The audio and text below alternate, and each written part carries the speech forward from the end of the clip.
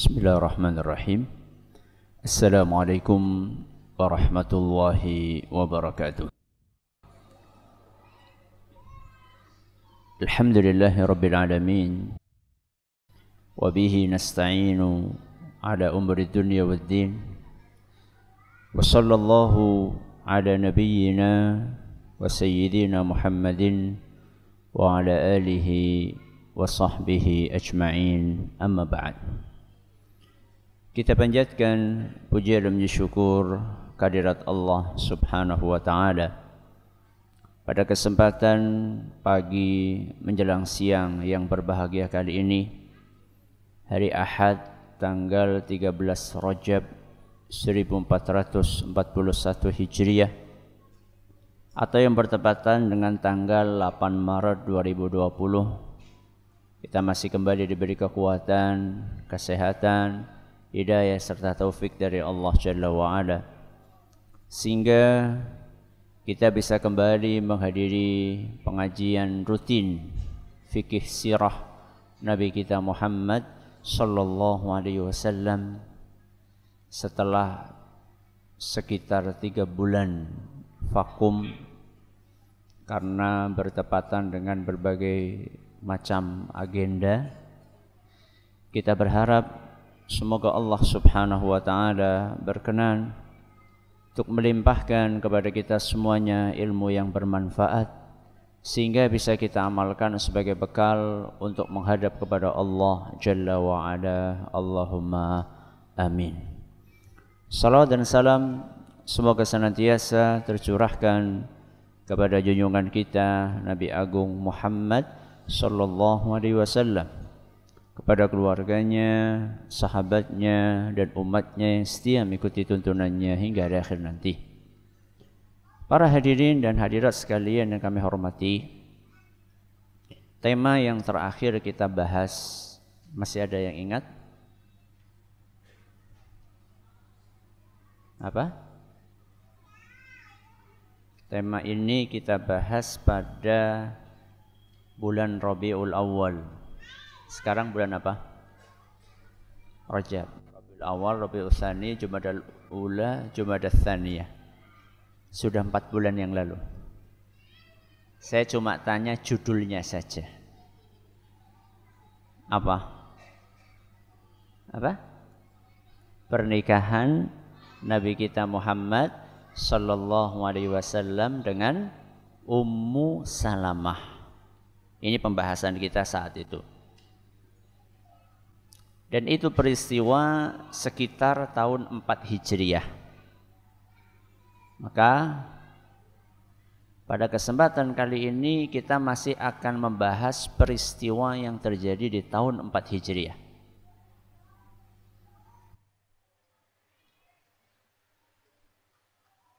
Apa yang terjadi di tahun 4 Hijriah?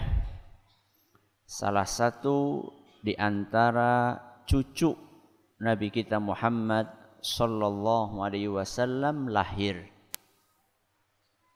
Beliau adalah Husain. Sinten? Husain. Yang lahir duluan mana? Hasan atau Husain? Yakin? Yakin? Yakin? Hasan duluan. Makanya kita sering mendengar ungkapan Hasan dan Husain, bukan Husain dan Hasan. Ya. Kalau Hasan itu terlahir di tahun 3 Hijriah, kalau Husain terlahir di tahun 4 Hijriah. Berarti berapa jaraknya? Satu tahun. Jadi bukan kembar siam, Ya. Tapi ada jarak satu tahun kira-kira nanti saya akan sampaikan. Jadi tema kita hari ini adalah kelahiran Hasan dan Husain radhiyallahu anhuma. Beliau berdua termasuk cucu awal Nabi kita Muhammad sallallahu alaihi wasallam. Sehingga kelahiran beliau berdua itu disambut dengan sangat bahagia. Terutama oleh kedua orang tuanya. Siapa kedua orang tuanya? Ali bin Abi Thalib dan Fatimah putri Nabi kita Muhammad sallallahu alaihi wasallam. Disambut dengan sangat bahagia oleh kedua orang tuanya dan oleh kakeknya. Siapa kakeknya? Rasulullah SAW. Dalam hadis yang diriwayatkan oleh Imam Bukhari, Nabi kita sallallahu alaihi wasallam bersabda, "Huma raihanataya minad dunya." Dua cucuku ini adalah merupakan bungaku, dua bungaku di dunia ini. Sehingga Nabi Shallallahu Alaihi Wasallam itu sangat sayang sekali kepada Hasan dan Hussein. Bahkan dalam beberapa riwayat beliau mengatakan Husainun minni wa ana min Husain. Husain adalah bagian dariku dan aku adalah bagian dari Husain. Ahabballahu man ahabba Husainan. Semoga Allah mencintai manusia-manusia yang mencintai Husain. Ini diriwayatkan oleh Imam At-Tirmidzi dan dinyatakan hasan oleh para ulama. Jadi Hasan dan Husain adalah cucu yang sangat disayangi oleh Nabi kita Muhammad sallallahu alaihi wasallam. Baik, tepatnya terlahir pada bulan apa? Pertama, siapa dulu tadi? Hasan. Hasan ini terlahir tepatnya pada bulan Ramadan. Tahun berapa tadi? Tiga Hijriah. Ramadan tiga Hijriah. Sedangkan Husain terlahir pada bulan Sya'ban tahun 4 Hijriah. Coba diulangi, Hasan lahirnya kapan? Ramadan tahun 3 Hijriah. Hussein Sya'ban tahun 4 Hijriah. Berarti jaraknya berapa bulan? 11 bulan. Berarti Fatimah radhiyallahu anha mulai hamil lagi mengandung Hussein hanya jarak satu kali suci. Ya. Hanya jarak satu kali suci dari datang bulan atau dari haid. Itulah jarak antara kelahiran Hasan dan Hussein. Yang bahagia bukan cuma orang tuanya, bukan cuma Rasul SAW. Seluruh sahabat bahagia karena mereka bahagia dengan kebahagiaan siapa? Rasulullah SAW. Dan mereka bersedih dengan kesedihan Rasul SAW. Dan perlu diketahui bahwa nama ini Hasan dan Hussein itu dari Nabi kita Muhammad SAW yang ngasih. Awalnya ketika terlahir namanya bukan seperti itu. Dalam hadis riwayat Ahmad dan dinyatakan Hasan isnadnya oleh Syekh Al-Albani ketika Hasan terlahir itu dinamai oleh ayahnya siapa ayahnya Ali dinamai Hamzah siapa Hamzah Hamzah itu apanya Ali pamannya dan ketika terlahir Hussein dinamai oleh ayahnya dengan Ja'far. Siapa Ja'far? Pamannya lagi. Ali bin Abi Talib bercerita, "Lamma wulidal Hasanu sammahu Hamzah." Falamma wulidal Husain sammahu bi'ammihi Ja'far. Ketika Hasan terlahir, pertama dinamai awalnya oleh Ali dengan nama Hamzah sedangkan Hussein saat terlahir dinamai oleh ayahnya dengan Ja'far. Itu awalnya demikian. Fada'ani Rasulullah sallallahu alaihi wasallam faqal. Maka kata Ali bin Abi Thalib, aku pun dipanggil oleh Rasulullah sallallahu alaihi wasallam dan beliau bersabda, "Inni umirtu an ughayyira isma hadain." Wahai Ali, aku diperintahkan untuk mengubah nama dua anak ini. Siapa yang memerintahkan Nabi SAW? Ya siapa lagi kalau bukan Allah. Aku diperintahkan untuk mengubah nama dua anak ini. Fakultu Allahu wa rasuluhu a'lam. Maka Ali bin Abi Thalib pun menjawab Allah dan Rasulnya yang lebih paham, yang lebih mengerti apa yang terbaik untuk dua anak ini. Fasammahuma Hasanan wa Husaina. Maka Nabi SAW pun menamai dua anak tersebut dengan Hasan dan siapa? Husain. Berarti namanya dari siapa? Nabi kita Muhammad sallallahu alaihi wasallam. Dalam riwayat yang lain yang diriwayatkan oleh Imam Ahmad dan dinyatakan sahih oleh Imam Ibn Hibban dari Imam Al-Zahabi Ali bercerita lamma wulidal Hasanu sammaituhu harba Ketika Hasan terlahir, aku namai dengan harb. Apa artinya harb? Perang. Ya. Ali itu kan orangnya apa? Gagah. Ya. Kuat. Pemberani. Barangkali dengan nama itu Ali pengen anaknya juga kuat, pemberani, perkasa. Maka dinamai harb. Pertempuran. Faja'a Rasulullah SAW faqala aruni ibni ma. Maka nggak lama kemudian Nabi SAW datang kemudian bilang sama Ali mana cucuku? Sudah diperlihatkan, kamu kasih nama siapa? Harb kata kata siapa? Kata Ali bin Abi Thalib. Nabi SAW bersabda bal huwa Hasan. Enggak namanya Hasan. Diganti sama Nabi SAW. Baik. Falamma wulidal Husain sammaituhu harba.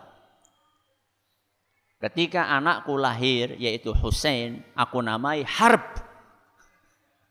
Yang keberapa? Yang kedua. Faja'a Rasulullah SAW faqala arun ibni ma sammaitumuh. Mana cucuku? Bawa sini. Namanya siapa? Harb kata kata siapa? Kata Ali bin Abi Thalib. Maka Nabi SAW mengatakan bal huwa Husain. Enggak, namanya Husain. Baik. Falamma wulida tsalitsu. Ketika anakku lahir yang ketiganya, samaituhu harba. Aku namai yang ketiga harb. Faja'an Nabi SAW faqala arun ibni ma sammaitumuh. Mana cucuku sini? Siapa namanya? Harb. Maka kata Nabi SAW bal huwa muhassin. Atau dalam beberapa literatur dikatakan muhsin. Enggak namanya bukan harb tapi muhsin atau muhassin. Ya. Tiga kali berturut-turut Ali pengen anaknya namanya Harb dan semuanya oleh Nabi SAW diganti dengan nama yang bagus-bagus. Karena walaupun mungkin orang identik Harb itu dengan keperkasaan, dengan kekuatan, dengan kejantanan, tapi juga ada sisi yang kurang baiknya. Karena perang itu kan identik dengan apa? pertumpahan darah, dengan kekerasan, dengan kekasaran. Nabi SAW tidak ingin, makanya diganti oleh Nabi SAW. Dan namanya indah-indah. Hasan, Hussein, Muhassin. Itu semuanya diambil dari kalimat baik. Hasanun itu baik artinya. Begitulah kita diajarin oleh Nabi Shallallahu Alaihi Wasallam untuk memilih nama yang baik. Ya. Bahkan seandainya sudah terlanjur dikasih nama, itu pun dianjurkan untuk dirubah. Jadi merubah nama itu bukan karena bocah lara Bukan karena itu. Atau dirubah nama karena nembe balik kaji. Ya, terus dirubah namanya bukan. Dirubah nama itu karena namanya tidak baik. Ya. Namanya tidak baik akhirnya dirubah. Itulah yang dilakukan oleh Nabi kita Muhammad sallallahu alaihi wasallam. Baik. Ini masalah nama. Berarti Hasan dan Husain itu pemberian dari siapa nama tersebut? Rasulullah sallallahu alaihi wasallam. Dalam beberapa riwayat setelah dikasih nama Nabi sallallahu alaihi wasallam mengumandangkan azan di telinganya Hasan dan Husain. Walaupun hadis ini masih diperselisihkan oleh para ulama keabsahannya status hadis ini menurut Imam At-Tirmidzi hasan sahih. Syekh Al-Albani pernah berpendapat demikian. Kata beliau hasan hadisnya. Tapi kemudian menjelang wafatnya Syekh Al-Albani merevisi pendapat itu dan menilai hadis ini dhaif. Intinya hadis tentang azan di telinga anak yang baru lahir itu masih diperselisihkan keabsahannya. Kalau ada yang pengen mengadani tidak apa-apa. Karena memang hadis ini ada sebagian ulama yang menguatkan. Menganggap hadis ini sah.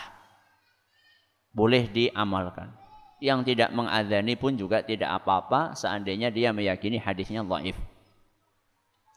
Diceritakan oleh Abu Rafi' radhiyallahu anhu salah seorang sahabat Nabi SAW beliau bercerita Ra'aitu Rasulullah sallallahu alaihi wasallam adzana fi udhunil Hasan ibn Ali hina waladathu Fatimatu bis salah Kata Abu Rafi' aku menyaksikan Rasulullah sallallahu alaihi wasallam mengumandangkan azan di telinganya Hasan saat lahir seperti azan solat. Jadi di sini ada ungkapan bisolati, ya, itu bukan maksudnya ngajak Hasan untuk sholat. Masih pitung baru lahir masa diajak apa? Sholat bukan. Tapi maksudnya adalah azannya seperti azan ketika manggil sholat itu maksudnya. Ya mirip persis. Ya dimulai dengan takbir, kemudian diakhiri dengan apa? tahlil la ilaha illallah. Dan ini kata sebagian ulama yang memakai hadis ini karena menurut mereka sahih atau hasan kata mereka di antara hikmah diadani bayi yang baru lahir adalah agar bayi tersebut pertama kali yang didengar adalah asma'nya Allah Azza wa Jalla di muka bumi ini diharapkan orang ini atau bayi ini akan dijaga dan akan familiar dengan nama Allah. Ulama yang lain menyebutkan kenapa kok diadani? Karena bayi itu sejak pertama kali lahir sudah diganggu sama diganggu sama setan. Sehingga bayi yang lahir rata-rata pada nangis. Dalam beberapa riwayat disebutkan bahwa setan itu datang kemudian menusuk di perutnya si bayi tersebut. Sehingga si bayi itu kesakitan lalu dia menangis. Jadi sejak awal setan sudah mengobarkan permusuhan. Makanya saya belum pernah melihat ada bayi lahir langsung apa? Ketawa gitu. Malah dia wedi nangis. Rata-rata bayi lahir langsung nangis. Nah karena setan datang maka perlu diusir.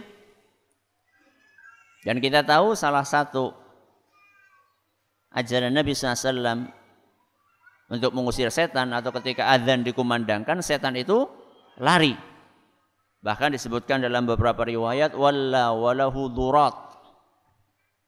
Ketika terdengar kumandang azan itu setan lari tunggang langgang sambil terkentut kentut walahu durat. Durat itu adalah kentut yang ada suaranya.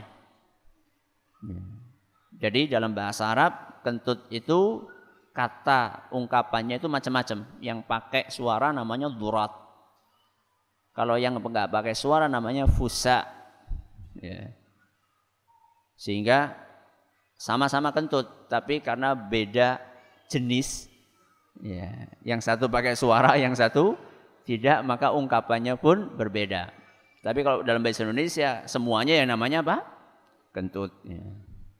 Nah, di sini di hadis yang tadi saya sampaikan, setan itu terkentut-kentut dengan suara, durat. Ya, walla walahu durat.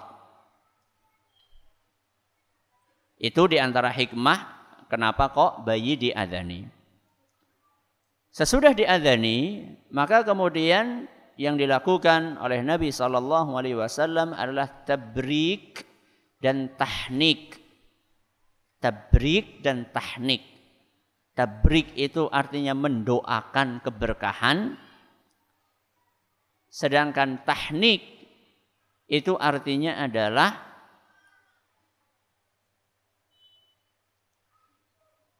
mengoleskan kunyahan uh, mengoleskan kurma yang sudah dikunyah ya. mengoleskan ke mulut si bayi itu kurma yang sudah dilembutkan, ya, yang sudah dikunyah. Itu namanya tah tahnik. Diceritakan dalam hadis riwayat Muslim kana yu'ta bis sibyani. Di zaman Nabi Shallallahu alaihi wasallam ketika ada bayi lahir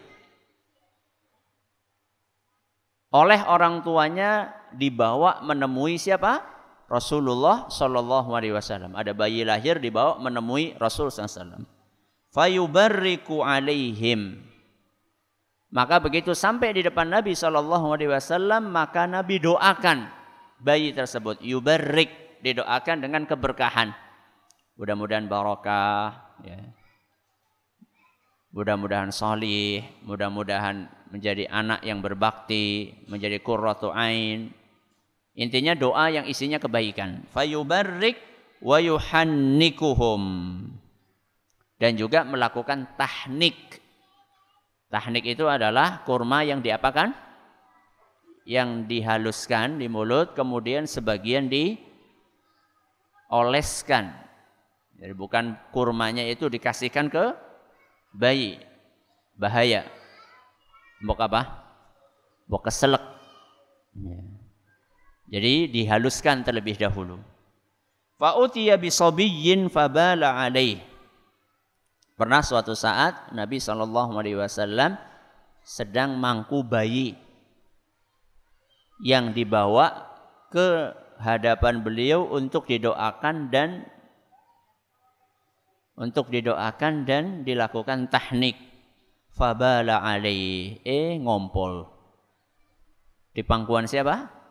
Rasulullah sallallahu alaihi wasallam. Fada'a bima'in. Maka Nabi sallallahu alaihi wasallam pun minta diambilin air. Fa'atsba'ahu baulahu. Kemudian Nabi percikkan air bersih itu di bekas ompolannya si bayi tersebut hadis riwayat Muslim dalam beberapa riwayat disebutkan bahwa bayi yang ngompol tadi itu oleh ibunya langsung di apa? Langsung ditarik. Ya, langsung ditarik. Karena ya kalau bahasa kita sekarang saru. Mau didoakan malah ngompoli gitu. Maka ditegur ibu tadi. Ya. oleh Nabi kita Muhammad SAW dalam beberapa riwayat supaya jangan seperti itu. Jadi jangan kok bayinya yang ditegur. Ya. Karena bayi belum apa? Belum paham, belum tahu. Loh, si masih kecil kayak gitu. Tahunya ya kebelet pipis ya pipis. Dia belum bisa membedakan dia sedang pipis di mana, di atas siapa, nggak bisa bedakan. Maka Nabi SAW dalam riwayat Muslim ini cuma ngambil, minta diambilin air, dipercikan, selesai masalah.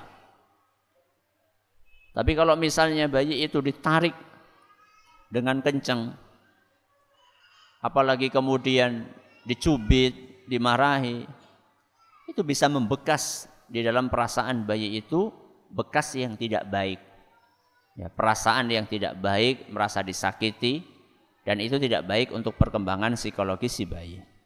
Baik, apa selanjutnya yang dilakukan? Cukur. Apa? Cukur.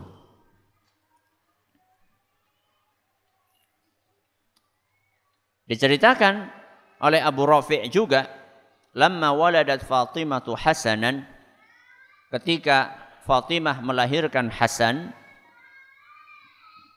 Nabi Shallallahu Alaihi Wasallam berkata kepada Fatimah, ihliki ra'sah, ihliki ra'sah, cukur habislah rambutnya. Thumma tasaddaqi biwazni sya'rihi min fiddah. Kemudian timbanglah rambut hasil cukurannya tadi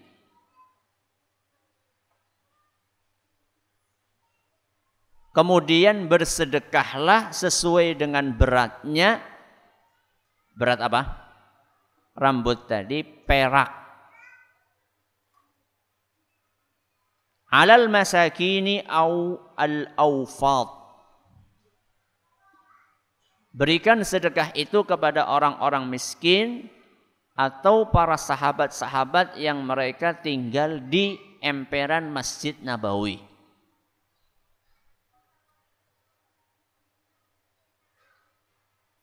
Falamma waladtu Husainan fa'altu mithla dhalik.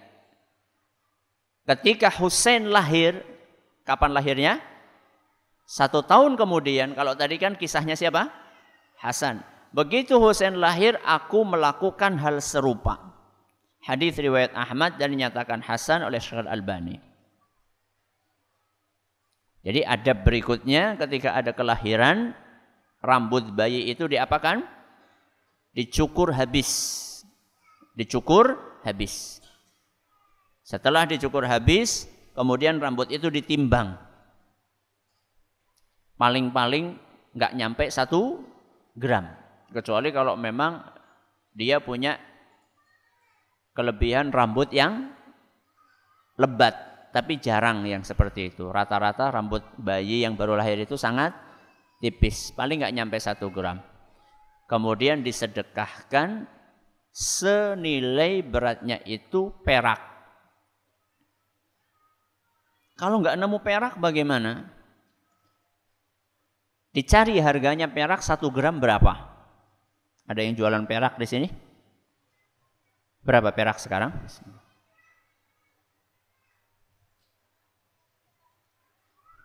Sebanyak ini nggak ada yang jualan perak? Nggak ada? Ya searching aja. Cari aja harga perak hari ini berapa. Kalau nggak nyampe satu gram terus digenapkan satu gram boleh nggak? Boleh nggak? Boleh, nggak apa-apa. Ya. Kalau digenapkan 10 gram, wah genapnya tuh temen misalnya. Ya enggak apa-apa. Ya. Yang tidak baik itu kalau dikurangi. Ya, penggenapannya ke mana? Ke bawah. Sebaiknya digenapkan ke atas. Ya.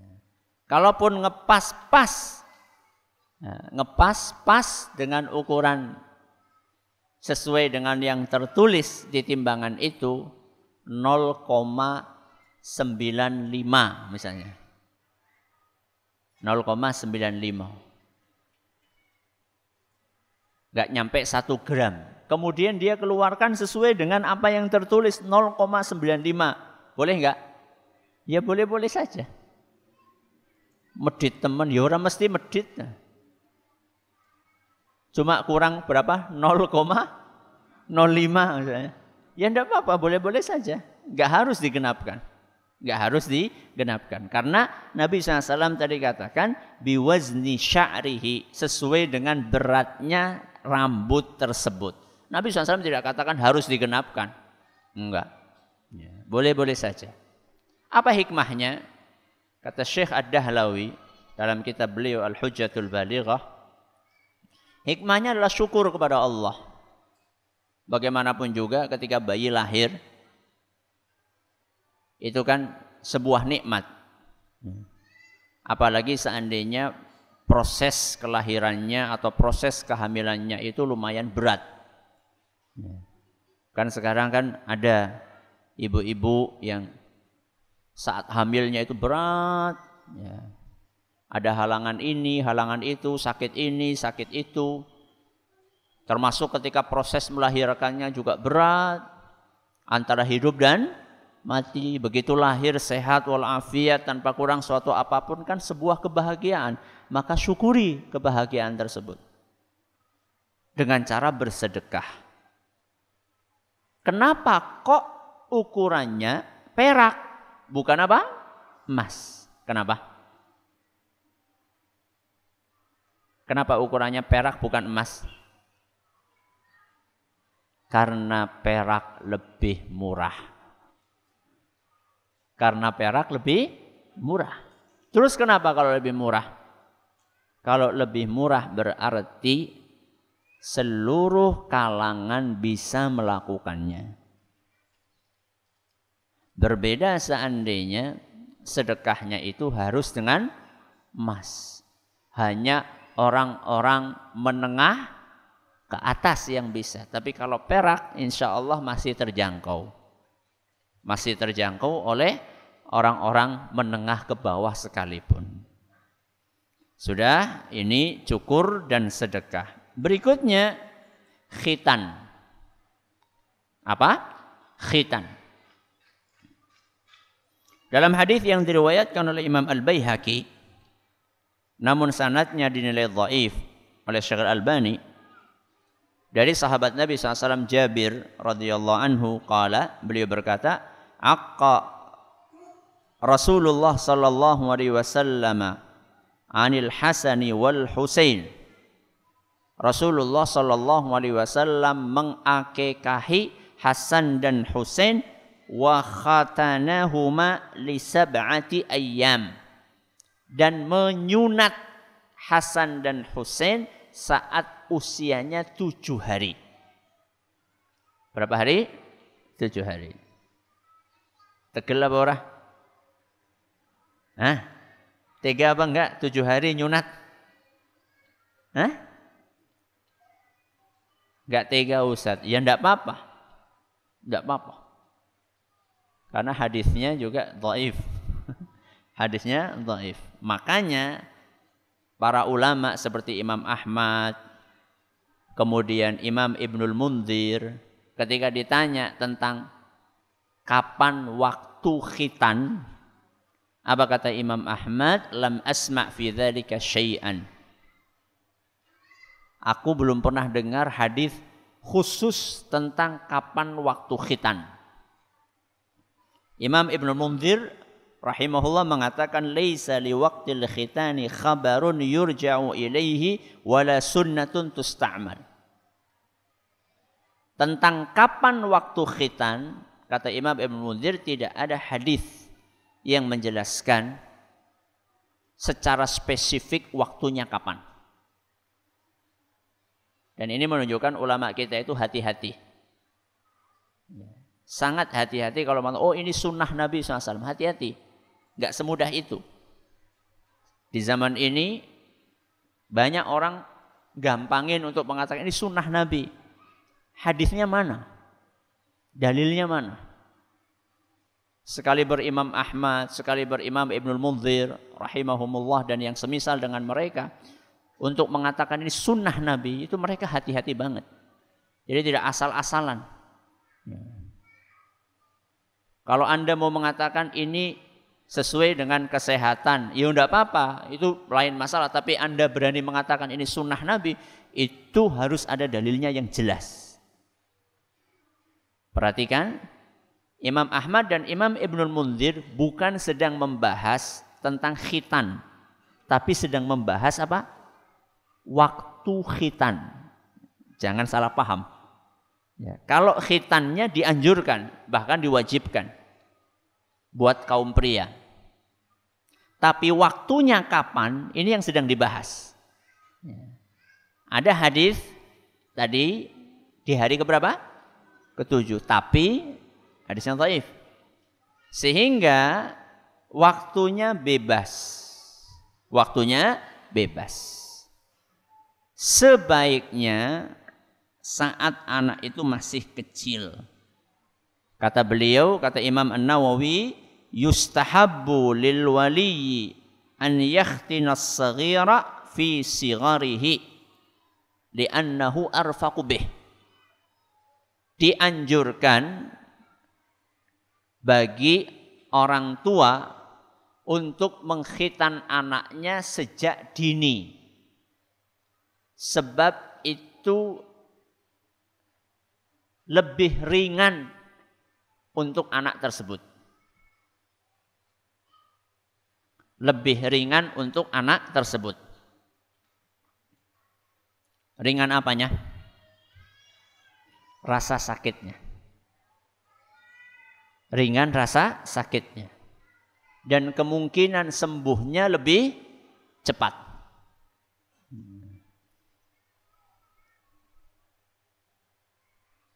Berbeda dengan yang sudah besar, kelas 6 SD misalnya.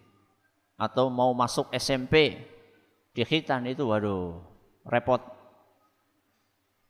Kalau bayi baru bisa melumah, baru bisa melumah, itu enggak terlalu repot. Tapi kalau sudah bisa tengkurap, Allahu Akbar. Kasihan. Ya. Atau tangannya sudah mulai bisa bergerak-gerak bahaya itu bisa ditarik itu apanya perbannya ya. makanya kata Imam An Nawawi semakin dini semakin baik. Lebih ringan buat bayinya dan buat orang tuanya tapi kan jadi orang balik modal Ustaz lah gue sih dengan niat mengkhitani anak itu apa Gue pahal untuk nyari duit atau bagaimana? Kan sekarang trennya seperti itu, rame-rame gitu ya. Sehingga kalau ada orang khitan gak ngabar-ngabari itu dianggap apa? Dianggap aneh gitu. Tahu-tahu sudah loh, jeneng sudah dikhitan. Jadi semakin dini semakin baik. Ya, semakin dini semakin baik. Apa boleh Ustadz? Ketika anak kita khitan, kita bikin walimah, boleh-boleh saja. Ada sebagian ulama, boleh. Ya, tapi bukan merupakan sebuah keharusan. Walimah khitan itu bukan sunnah itu hukumnya mubah. Mubah itu bo, boleh. Bukan sebuah sunnah. Juga apalagi wajib enggak. Boleh-boleh saja. Jadi mau diwalimahi boleh, enggak diwalimahi pun juga boleh. Sudah, ini selesai khitan. Berikutnya yang dilakukan oleh Nabi Shallallahu Alaihi Wasallam adalah akikah. Napa? akikah.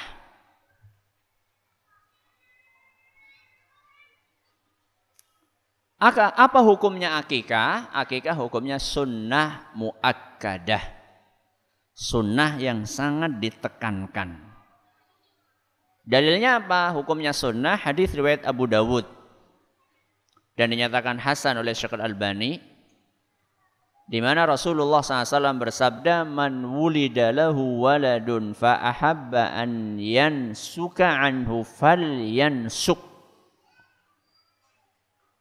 Barang siapa yang dikaruniai oleh anak yang barang siapa yang dikaruniai oleh Allah anak dan dia pengin untuk mengakikahi anaknya silahkan diakikahi. Jadi di sini ada kalimat barang siapa yang pengin mengakikahi silahkan diakikahi.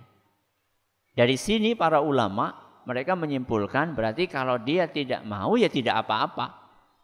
Berarti hukumnya sun sunnah.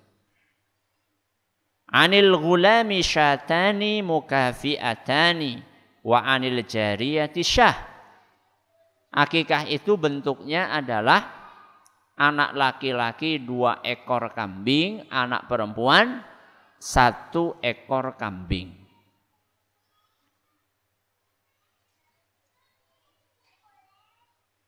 Ustaz saya pengen akekahnya sapi. Boleh? Boleh? Hah? Kalau yang dicontohkan sama Nabi SAW adalah kambing. Di zaman Nabi ada onta, tapi Nabi SAW tidak lakukan itu. Yang dicontohkan oleh Nabi SAW adalah kambing. Kalau ayam, ya nggak boleh. Ya. Enduk apa maning? Ya. Akikah enduk. Kambing. Berapa ekor? Dua ekor untuk anak laki-laki, satu ekor untuk anak perempuan. Ustadz, anak saya kembar laki-laki, Allahu Akbar. Berapa? Empat Ustadz, gimana? Sudah saya sampaikan di awal. Itu hukumnya sunnah muakkadah. Kalau anda nggak mampu, nggak apa-apa. Wong seandainya mampu tidak melakukan pun tidak berdosa. Apalagi kalau tidak mampu. Makanya tentang akikahnya Hasan dan Husain ada riwayat mengatakan Nabi SAW mengakikahi Hasan satu ekor kambing, Husain satu ekor kambing. Ada riwayat lain yang mengatakan Hasan dua ekor kambing, Husain dua ekor kambing. Berdasarkan riwayat yang pertama, itu menunjukkan bahwa ketika orang tidak mampu untuk berakikah dua ekor kambing buat anak laki-laki, maka tidak apa-apa dia berakikah dengan satu ekor kambing. Dan itu tidak menjadi utang yang harus dia tanggung seumur hidup enggak. Wong dia mampunya segitu ya silahkan.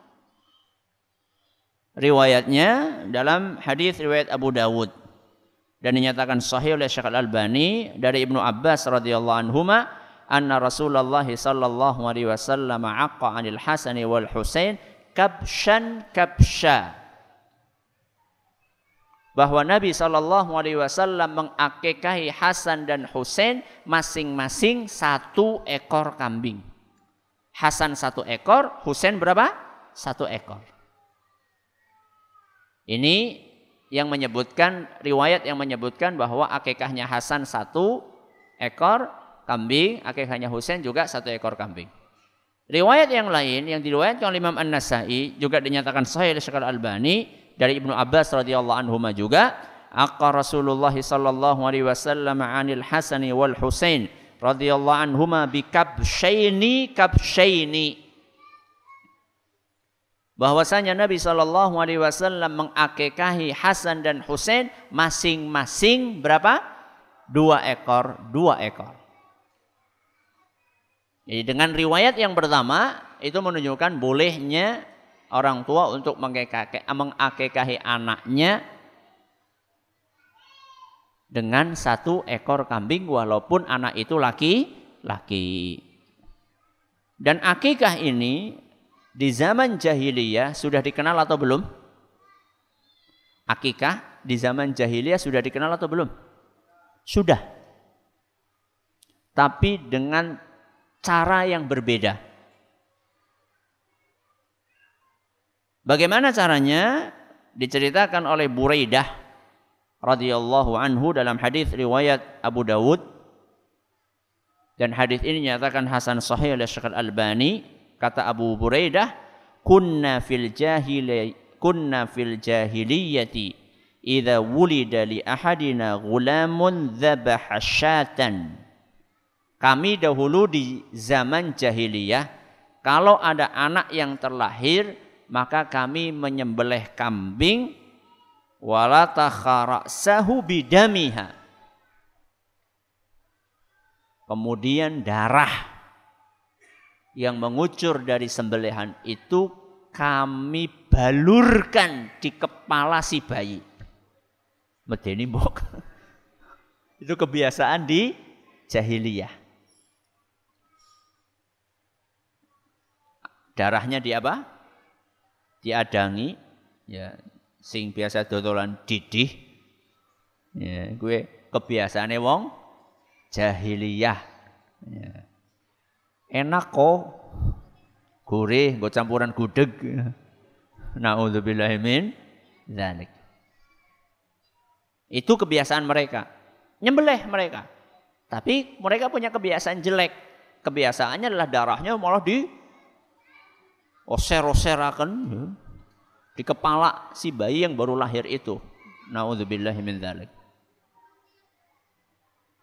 Falamma Allahu bil Islam kunna nadbahu syatan. Ketika Allah menurunkan agama Islam, maka kami pun saat ada bayi yang lahir menyembelih kambing. Berarti sama enggak nyembelihnya? Sama. Wa nahliqu ra'sahu wa nulattihuhu biza'faran.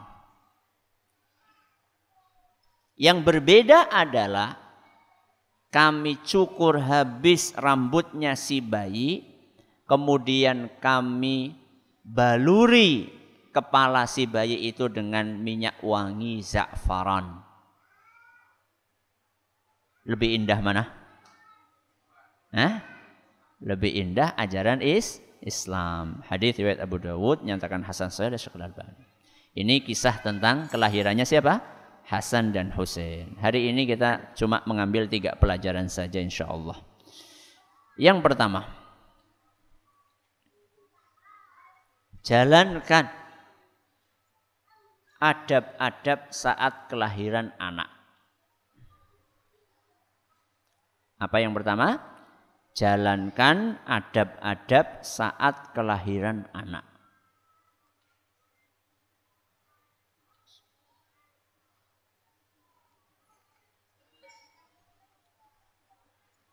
Islam itu agama yang sangat sempurna.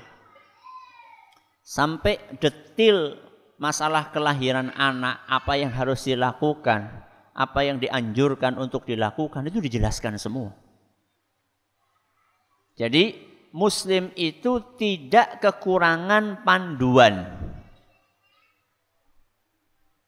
Muslim itu tidak kekurangan panduan hidup maka nggak usah mengadopsi panduan hidup dari selain ajaran agama. Di zaman ini kan macam-macam. Bayi lahir ini itu. Pernikahan juga sama. Ada yang harus nginjek telur. Ada yang harus masuk ke kandang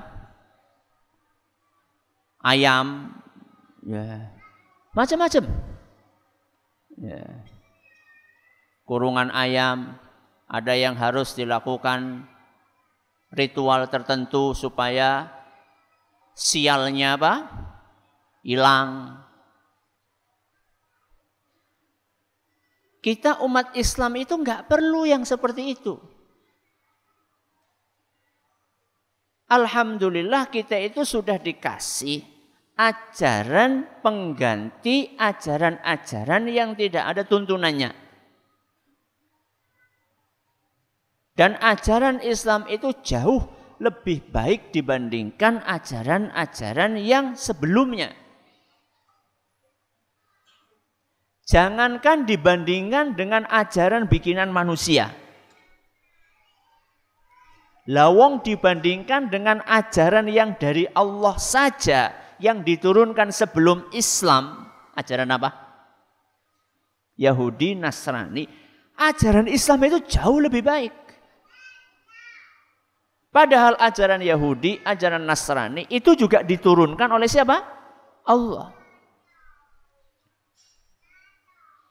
Ajaran Islam ini lebih unggul dari seluruh ajaran. Ngapain kita tinggalkan yang lebih unggul, kita pakai yang belum jelas?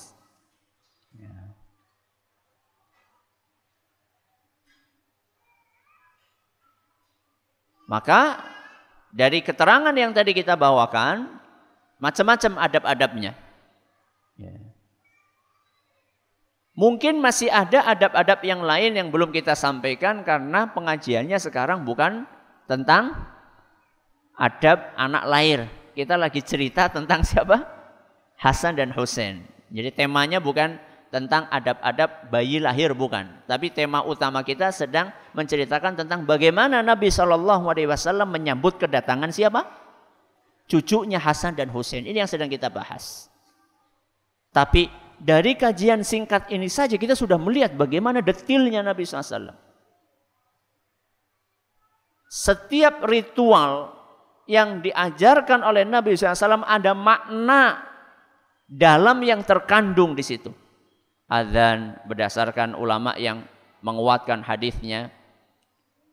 Akikah diceritakan dalam beberapa riwayat Fatimah ketika akikah itu ngirimi daging kepada bidan kalau bahasa kita sekarang. Ya, yang bantu apa? Proses kelahiran. Dikirimi sama Fatimah. Senangnya, syukurnya beliau kepada Allah Azza wa Jalla dan ucapan terima kasih. Jadi di dalam agama kita setiap ritual itu ada maknanya dan maknanya itu makna yang betul-betul bisa dicerna dengan logika akal sehat. Ya mungkin ada sebagian orang ada maknanya itu dikurung di dalam apa? Kurungan ayam, kandang ayam ada maknanya. Maknanya gini, gini, gini, gini, simbol ini dan itu. Ya kalau dicari-cari ya bisa aja kotak gadok apa? Matuk. Tapi tentu berbeda. Analisa-analisa yang dibikin-bikin dengan analisa yang bisa diterima dengan akal sehat itu jelas berbeda. Apalagi yang satu bikinannya manusia, yang satu dari siapa? Dari Allah Subhanahu wa taala. Jelas berbeda bainas samai was sumur. Antara langit dan sumur, bukan langit dan bumi. Lebih dalam lagi. Beda. Ya.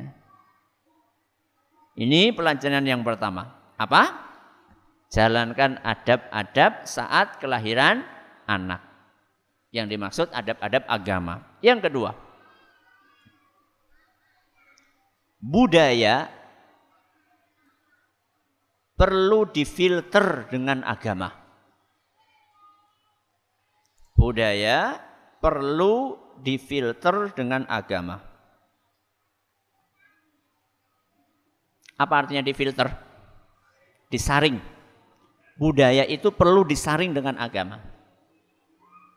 Sebelum saya jelaskan maksudnya apa, kira-kira kita ambil pelajaran ini dari mana? Dari cuplikan kisah yang mana? Bagus. Akikah ala jahiliyah yang dirubah oleh Nabi SAW. Ala jahiliyah, akikahnya bagaimana? Darahnya dibalurkan ke kepala bayi. Ini sama Nabi SAW difilter. Yang baik beliau pakai, yang jelek beliau buang. Apa yang baik? Nyembelihnya baik. Untuk Allah tentunya untuk Allah. Yang nggak baik apa tadi? membaluri kepala dengan darah diganti sama Nabi SAW, dicukur rambutnya, kemudian dikasih minyak wangi atau dikasih wewangian supaya harum. Kalau nggak ada za'faron Ustaz, baby oil gimana Ustaz? Ya ora apa-apa. Ora kudu faron. Kata sebagian orang. Lagi pula yang di pasaran ini za'faronnya juga ya wallahu alam ya keasliannya. Ya. Wallahu alam keasliannya. Intinya adalah wewangian. Nah, intinya supaya bersedap lah. Wong bayi itu nggak dikasih wewangian ya sudah apa? Sudah seger. Beda dengan kulo kalian jenengan. ya.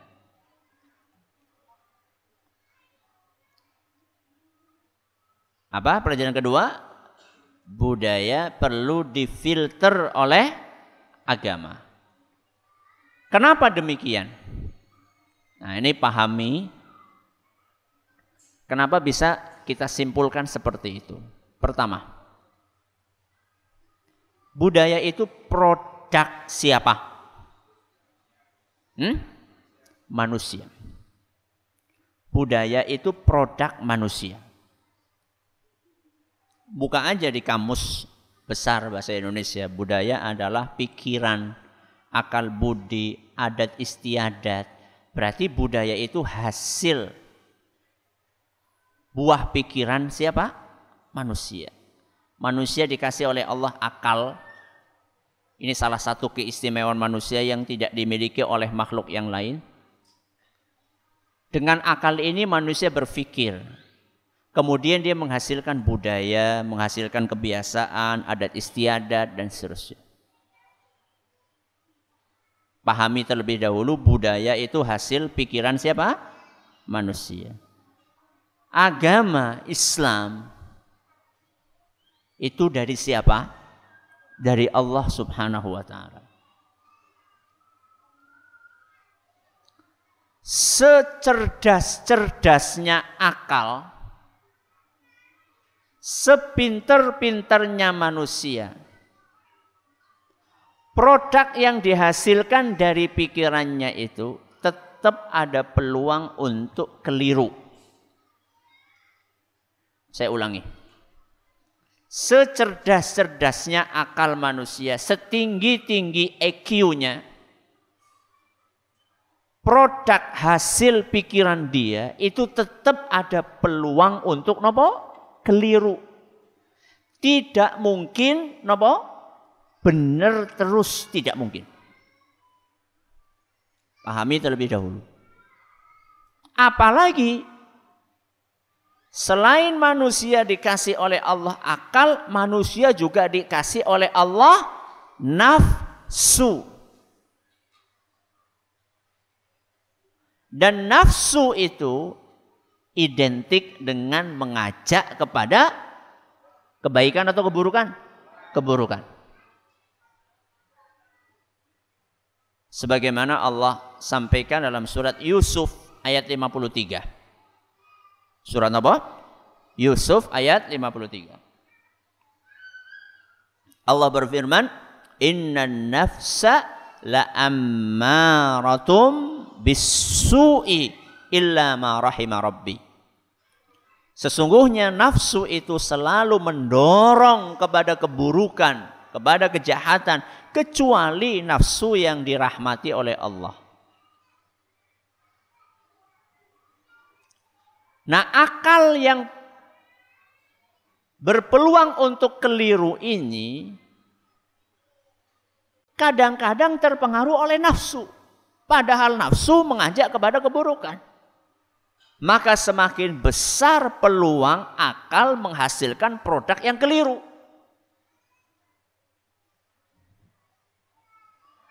Pertanyaannya, apakah setiap produk akal keliru? Hah? Tidak. Kadang benar, kadang salah. Kadang tepat, kadang keliru, kadang positif, kadang negatif. Berarti produk akal itu ditolak mutlak atau diterima mutlak? Jawab. Produk akal itu ditolak mutlak atau diterima mutlak?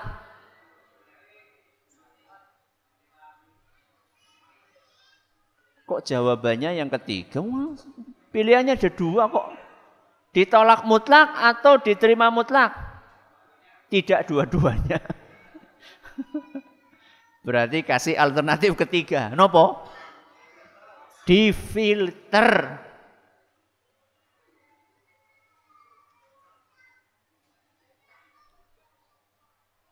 Baik, ini solusinya, difilter alias disaring. Yang namanya nyaring butuh alat.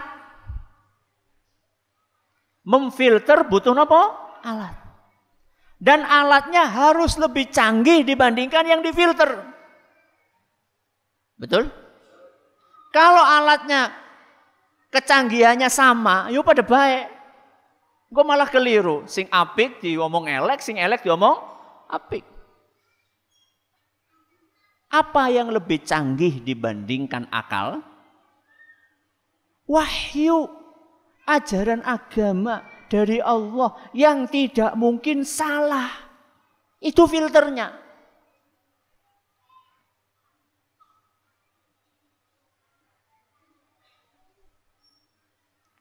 Wahyu dari Allah itu tidak mungkin keliru, tidak mungkin salah, tidak ada celah untuk keliru dalam wahyu Allah. Apa dalilnya? Surat Al-Baqarah ayat 147. Surat apa? Al-Baqarah ayat 147. Al-haqqu mir. Kebenaran itu sumbernya dari siapa? Allah fala takunanna minal mumtarin. Maka jangan sekali-kali kalian ragu dengan kebenaran tersebut. Di zaman ini itu di zaman ini itu aneh sebagian orang. Disampaikan ayat Quran hadis Nabi Shallallahu Alaihi Wasallam. Apa iya kayak gue Begitu dibawakan ini hasil penelitian profesor-profesor terkenal. Sendiko dawuh. Aneh orang ini. Mungkin enggak hasil penelitian profesor itu keliru? Mungkin obatan? Mungkin. Sangat mungkin sekali. Profesor juga manusia. Maka pelajaran yang kedua, budaya perlu nopo difilter ajaran agama. Coba saya tanya sama jenengan sampai sekarang ini apakah panjenengan memahami dari pemaparan barusan bahwa Islam itu anti budaya? Jujur. Yang mengatakan iya angkat tangan. Aja beti. Ada yang angkat tangan? Alhamdulillah. Berarti panjenengan yang hadir di sini dan semoga juga para pendengar pemirsa memahami bahwa apa yang kita sampaikan tadi bukan dalam rangka mempertentangkan antara agama dengan budaya. Tapi kita pengen budaya ini diletakkan secara proporsional Karena itu produk akal manusia yang bisa keliru dan bisa benar.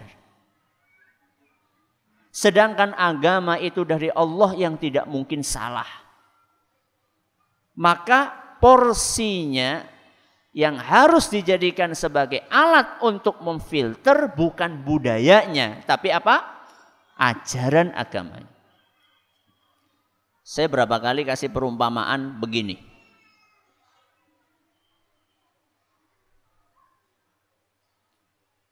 Kalau boleh diumpamakan, kalau boleh diumpamakan, kepala kita ini adalah permisalan dari agama. Sedangkan peci ini permisalan dari apa? Budaya. Seandainya kita beli peci, ternyata pecinya itu apa? Kekecilan. Sebelum saya lanjutkan. Perumpamaannya agama itu adalah kepala. Budaya peci. Kita beli peci, ternyata pecinya begitu dipakai, ternyata pecinya kekecilan. Apa solusinya? Apa solusinya? Ada dua pilihan. Kepalanya dikurangi, supaya pecinya bisa masuk atau jenengan ganti peci yang ukurannya pas. Yang mana? Yang mana? Alhamdulillah masih pada sehat. Sekarang orang tuh pengennya kalau ada ajaran agama nggak sesuai dengan adat. Ajaran agamanya yang harus menyesuaikan. Gue pada bayi sirai dikurangi. Hmm.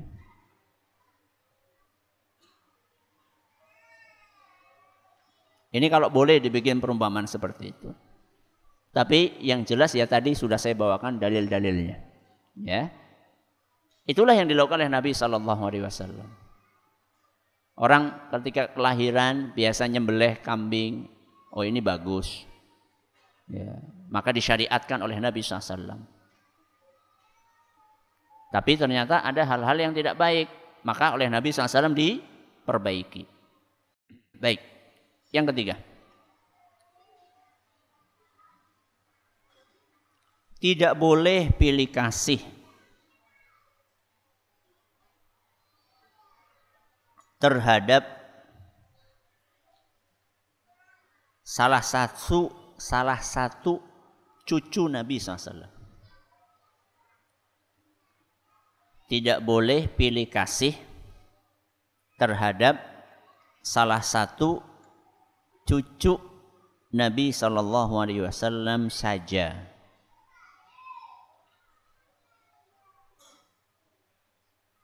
Cucu Nabi Wasallam banyak apa sedikit? Banyak.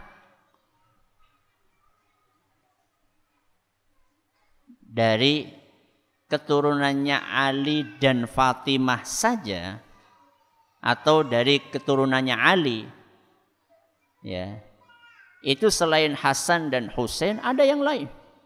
Ya ini saya bacakan ya. Ada Hasan ada Husain ada Muhsin atau Muhassin. Ya sudah berapa ini? Tiga. Ada Al Abbas ini Al-Abbas bin Ali bin Abi Talib. Ya. Ini dari Ali bin Abi Talib, kelahiran cucu-cucu Nabi SAW. Ada Hilal. Ini putra-putranya Ali bin Abi Talib. Ada Abdullah, ada Ja'far, ada Uthman, ada Ubaidullah, ada Abu Bakar, ada Umar. Ternyata Ali bin Abi Talib itu pernah menamai sebagian anaknya dengan nama Abu Bakar, Umar, bahkan Utsman. Ini fakta yang harus kita ketahui. Sehingga kalau ada orang ingin mempertentangkan antara Ali bin Abi Thalib dengan Abu Bakar itu aneh. Wong Ali bin Abi Thalib saja anaknya dinamai oleh beliau siapa? Abu Bakar. Kalau ada orang ingin mempertentangkan antara Ali bin Abi Thalib dengan Umar bin Khattab aneh. Lawong anaknya Ali juga ada yang namanya Umar. Ya. Baik. Ada sebagian orang mengklaim cinta kepada ahlul bait. Cinta kepada keturunan Nabi SAW. Tapi anehnya yang selalu ditonjolkan hanya satu. Siapa? Husain. Sehingga ketika ada peringatan-peringatan mereka, bendera-benderanya itu tulisannya cuma Husain. Ya Husain. dalam langgam-langgam syair-syair yang mereka lantunkan saat peringatan itu yang disebut cuma Husain. Ke mana Hasan? Terus ke mana Ali bin Abi Thalib? Ayahnya siapa? Husain. Kenapa yang dicintai, yang dipuja-puja cuma Husain saja? Ada sebagian ahli sejarah berusaha untuk menelusuri sebabnya. Ternyata apa penyebabnya? Karena Husain radhiyallahu anhu pernah menikah dengan putri istrinya Raja Persia.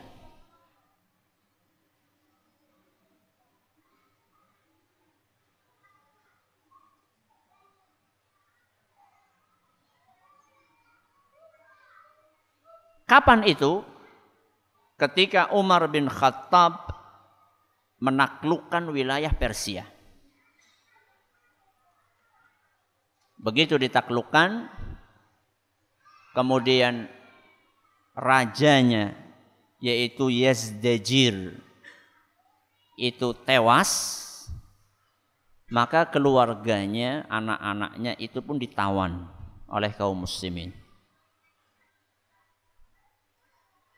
salah satu putrinya Yazdajir yang bernama Syahzanan itu dihadiahkan oleh Umar kepada siapa? Ali bin Abi Thalib. Eh maaf. Kepada siapa? Hussein. Salah satu putrinya siapa? Yazdajir. Rajanya nopo? Persia. Persia itu saat itu agamanya apa? Majusi. Penyembah nopo? api, penyembah api. Salah satu putrinya, siapa tadi namanya? Syahzanan. Syahzanan. Dalam beberapa uh, literatur disebutkan Syahzanah. Ada yang mengatakan Syahzanah, ada yang mengatakan Syahzanan itu dihadiahkan oleh Umar kepada Sinten wau Husain. Kemudian dinikahi oleh Husain. Dari pernikahan Ali bin Abi Thalib dengan putri Raja Persia ini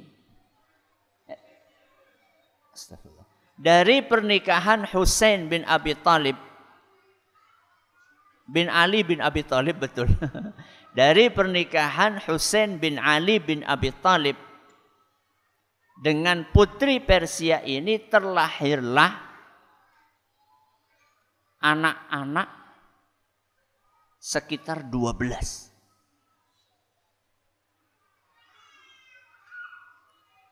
Berapa?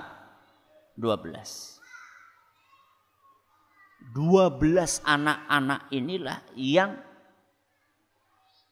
dikultuskan oleh orang-orang tersebut. Semuanya dari keturunan pernikahan eh, pernikahan Hussein dengan si putri Raja Persia tadi.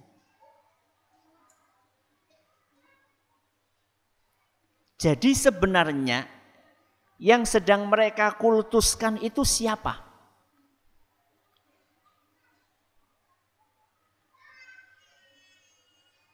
Apakah yang sedang mereka kultuskan, mereka hormati itu karena ini adalah keturunan, garis keturunan dari Nabi SAW? Atau karena faktor lain, Hussein menikah dengan putrinya Raja Persia. Dan kita tahu bahwa Persia dengan agamanya, nopo? Majusi. itu sangat dendam kepada umat Islam. Karena di tangan umat Islam itulah kerajaan mereka runtuh. Dan saat itu di zaman kekhalifahan sinten Umar bin Khattab. Dan kita tahu pembunuhnya Umar siapa? Abu Lu'lu'ah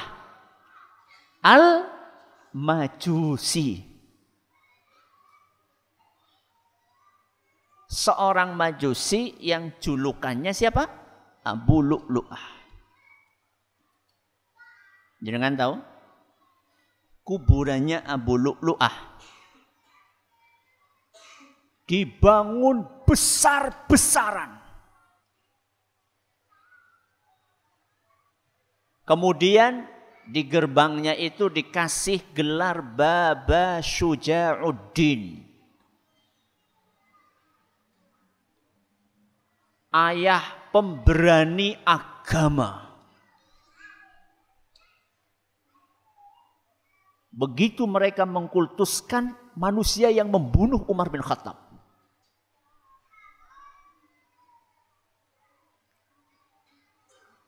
Terus dari sini kita bisa memahami bahwa mereka mengkultuskan Hussein dan keturunannya yang berapa tadi? 12. Karena motif apa?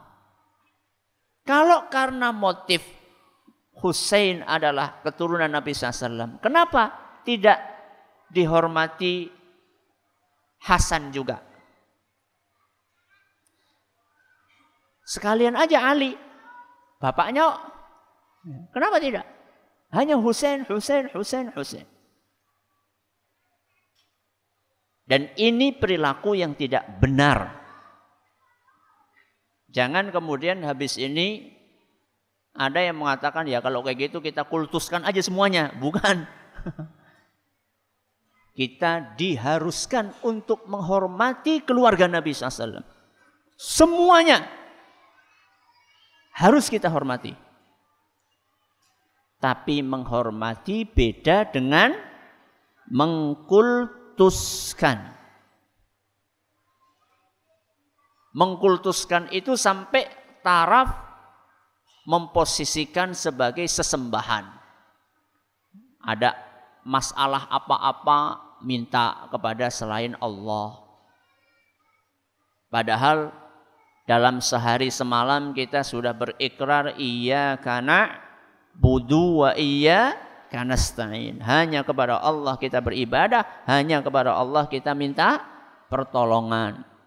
Terus apa makna ikrar kita sehari-hari itu? Kalau dalam urusan apa-apa kita mintanya kepada selain Allah.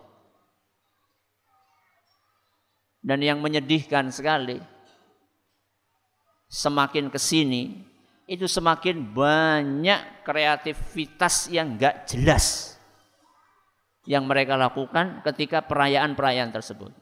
Di antara yang terakhir mereka lakukan itulah nelpon kepada Hussein. Apa? Nelpon. Kemudian direkam teleponnya. Bayangkan, nomornya berapa? Kemudian di telepon itu isinya adalah minta bantuan, minta tolong umat Islam kayak gini, kita sedang menderita ini, itu bantu kami. Itu sudah masuk level kultus. Karena doa, permohonan itu kan ibadah yang hanya boleh kita tujukan kepada siapa? Allah. Ini adalah pelajaran yang ketiga. Mudah-mudahan yang sedikit ini bermanfaat buat kita semuanya. Ada pertanyaan silahkan.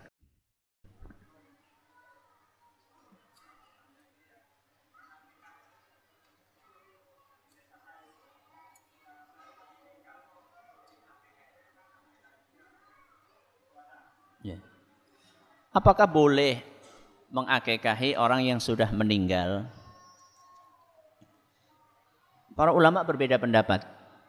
Para ulama berbeda pendapat. boleh atau tidaknya. Sebagian ulama mengatakan boleh. Sebagian ulama mengatakan tidak.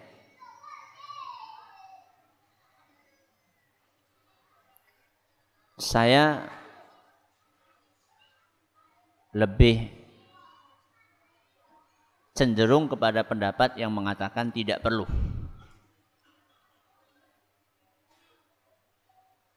Karena saya belum menemukan dalilnya.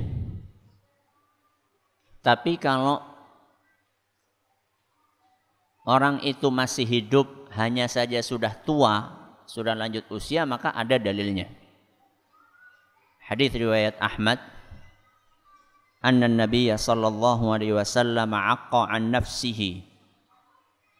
Hadis ini berbunyi bahwa Rasulullah sallallahu alaihi wasallam mengakikahi dirinya sendiri. Berarti saat beliau sudah dewasa. Hadis ini masih diperselisihkan, ada yang mengatakan dhaif, ada yang mengatakan hasan atau bisa dipakai. Kalau orang itu masih hidup maka dianjurkan. Tapi kalau sudah meninggal saya belum menemukan dalilnya. Wallahu alam.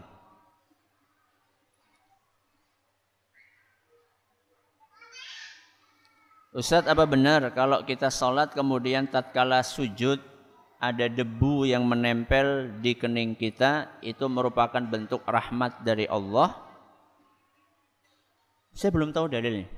Ya. Saya khawatir nanti itu dijadikan sebagai dalih untuk marbot masjid nggak mau nyedot karpet. Ya biar jamaahnya dapat rahmatnya. Saya nggak tahu dalilnya. Ya, saya nggak tahu dalilnya.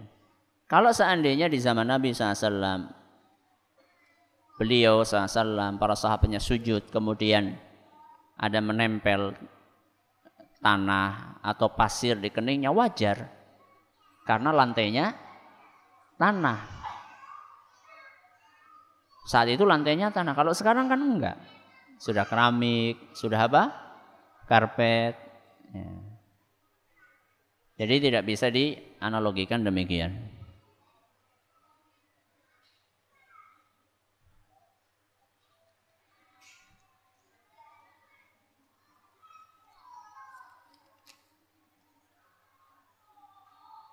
Ustadz bagaimana cara berbakti kepada orang tua sedangkan kita di pondok? Caranya belajar yang baik. Caranya belajar yang baik. Ini yang pertama. Karena ketika Anda santri-santri belajar dengan baik, berarti Anda secara tidak langsung atau secara langsung telah membahagiakan orang tua. Jangan males, jangan berbuat hal-hal yang memalukan orang tua, bocah pola bapak, keperadah anak pola orang tua yang dapat getahnya jangan. Yang kedua, kalau ada kesempatan untuk berkomunikasi di sebagian pesantren, santri dikasih kesempatan untuk nelpon orang tuanya seminggu sekali, dua minggu sekali, satu bulan sekali, maka manfaatkan itu manfaatkan untuk nelpon orang tua. Dan itu dijadikan prioritas. Jangan sampai prioritasnya malah untuk update status, untuk menghubungi teman-teman yang teman-teman lamanya, boleh-boleh saja. Tapi prioritasnya orang tua. Kalau bisa komunikasi dengan teman dalam waktu yang lama satu jam dua jam, Masa sama orang tua cuma lima menit, tiga menit, just say hello aja, terus minta kiriman. Itu aja temanya, nggak ada yang lain. Cerita, orang tua itu senang ketika mendengarkan anaknya cerita Abi kemarin ada kegiatan kayak gini, Umi kemarin aku dapat ini, Alhamdulillah, cerita. Ya. Orang tua senang. Ini yang kedua. Yang ketiga memanfaatkan waktu liburan. Memanfaatkan waktu liburan. Untuk memaksimalkan, menebus waktu yang cukup lama tinggal di pondok. Misalnya liburannya dalam satu tahun dua bulan, misal, berarti dua bulan itu gunakan untuk menebus berapa bulan? 10 bulan. Tebus. 10 bulan di pondok dengan dua bulan di rumah apa yang dilakukan? Membantu orang tua. Tentunya di pondok itu sudah dibiasakan melakukan perilaku-perilaku baik nyapu, ngepel, nyuci bahkan sebagian pondok masak aplikasikan itu di rumah. Ya. Sampai ke rumah, kebiasaan baik yang biasa dilakukan di pondok lakukan. Nyapu, ya nyapu, nyempel, ngepel, nyuci. Maka sering saya sampaikan aib bagi santri-santri apalagi yang sudah besar-besar kalau pulang bajunya masih dicucikan oleh ayah ibunya. Saya ulangi aib. Kalau Anda sudah mondok, apalagi sudah besar, pulang-pulang bajunya masih dicucikan oleh siapa? Bapak dan ibunya. Harusnya kamu yang nyucikan baju ayah dan ibu, bukan bajumu yang dicucikan ayah dan ibu. Mungkin ada yang mengatakan, lawung cuma dimasukkan ke mesin cuci aja kok Ustadz nggak repot. Justru karena dimasukkan ke mesin cuci itu, berarti kamu bisa melakukan. Ngapain harus ngerepotin orang tua? Itu senjata makan tuan namanya. Cuma, cuma masukkan mesin cuci. Justru karena masukkan mesin cuci itu, berarti nggak repot buat kamu untuk nyucikan baju orang tua. Tapi kan realitanya sekarang, banyak santri-santri yang pulang ke rumah, itu balas dendam. Tidur terus. Enggak tidurnya kapan? Kalau lagi makan. Atau lagi main HP. Main HP pun sambil makan. Ayolah. Orang tua memasukkan anak ke pondok itu bukan supaya pulang-pulang jadi maniak HP, bukan.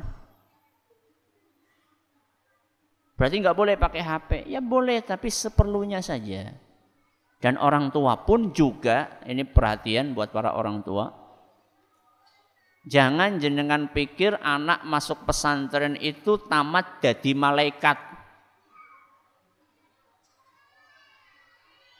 Kemudian mengatakan priwe si pondoke bali-bali malah kayak kiye. Tanggung jawab pendidikan pokok bukan di ustadz pesantren. Tanggung jawab pokok ada di orang tua. Pahami itu. Sehingga ketika anak pulang, itu kesempatan jenengan untuk mendidik. Terus dipantau. Karena anak selama di pesantren dia merasa diawasi, diawasi, diawasi.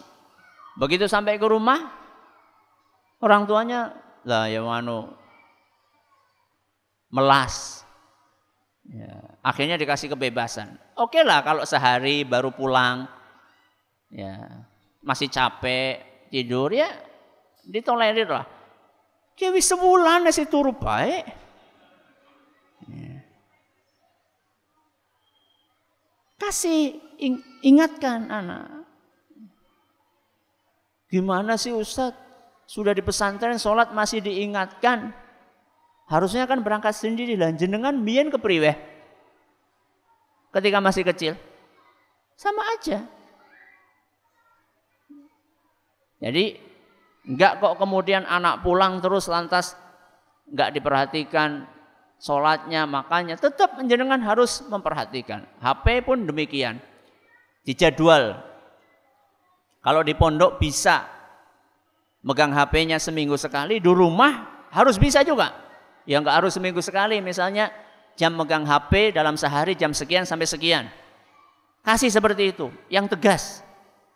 Jangan kemudian lantas dikasih HP dur-duran. Jangan. Khawatirnya nanti anak balik ke pondok tambah rusak. Akhirnya nggak mau mondok lagi.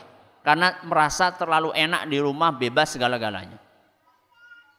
Jadi ini biar adil. Nasihat ini tertuju kepada anak-anak iya, kepada orang tua juga iya. Wallahu a'lam. Mudah-mudahan bermanfaat buat kita semuanya. Terima kasih atas perhatiannya menurut segala kurangannya. Kita tutup dengan membaca subhanakallahumma bihamdika asyhadu an la ilaha illa anta astaghfiruka wa atubu ilaik. Assalamualaikum warahmatullahi wabarakatuh.